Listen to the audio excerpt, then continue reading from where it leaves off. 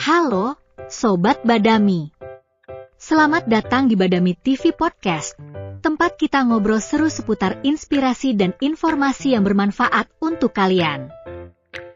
Saya Siska, dan di episode kali ini kita akan bahas topik yang menarik, yaitu dapat cuan dari rumah dengan menjadi konten kreator. Sekarang, siapa yang gak pengen bisa dapat penghasilan dari rumah? Di era digital, menjadi konten kreator adalah salah satu cara yang banyak dipilih orang untuk mencari rejeki. Gimana caranya? Apa yang harus dipersiapkan? Sebelum kita bahas soal cuan, kenali dulu apa itu konten kreator. Sekarang, konten kreator jadi istilah yang sering kita dengar, tapi sebenarnya apa konten kreator itu? Jadi, konten kreator adalah orang yang menghasilkan konten di platform digital, bisa berupa video, tulisan, gambar, atau audio. Sekarang kita masuk ke yang lebih praktis. Gimana caranya mulai jadi konten kreator? Apa aja yang perlu kita siapkan? Langkah pertama adalah tentukan topik yang ingin kamu bahas. Misalnya, kamu suka masak? Kamu bisa bikin konten tentang resep masakan. 2. Peralatan yang dibutuhkan. Kamu nggak perlu alat yang mahal dulu. Banyak konten kreator sukses yang awalnya hanya bermodal kamera HP. 3. Konsistensi dan kualitas konten. Selain peralatan, kamu juga harus konsisten. Konsistensi itu kunci penting. Mulai dari jadwal posting hingga kualitas konten yang selalu ditingkatkan. 4. Pahami platform. Setiap platform punya karakteristik sendiri.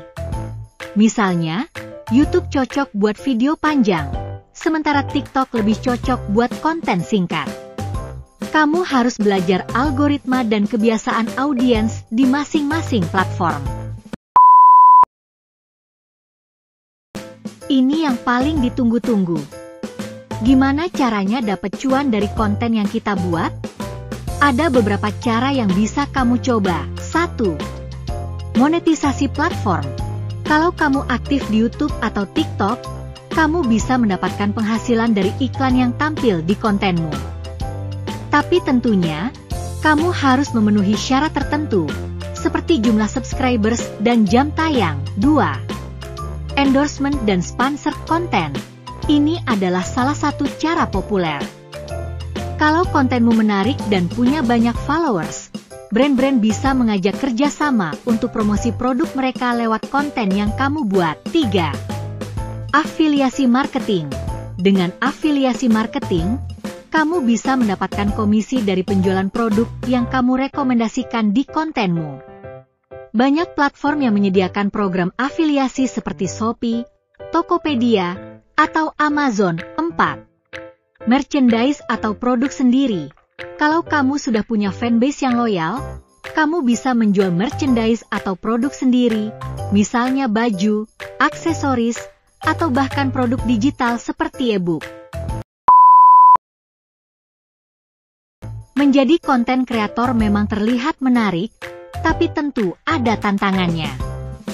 Salah satunya adalah kompetisi yang ketat dan ekspektasi audiens yang tinggi. Untuk bisa sukses, yang penting adalah jangan menyerah dan terus belajar. Jangan ragu untuk eksplorasi dan berani tampil beda. Jangan takut dengan kompetisi, tapi justru belajar dari konten kreator lain. Jadi, itulah beberapa langkah dan tips untuk bisa dapat cuan dari rumah dengan menjadi konten kreator. Semua orang punya kesempatan yang sama, Asal mau belajar, konsisten, dan gak takut mencoba hal baru.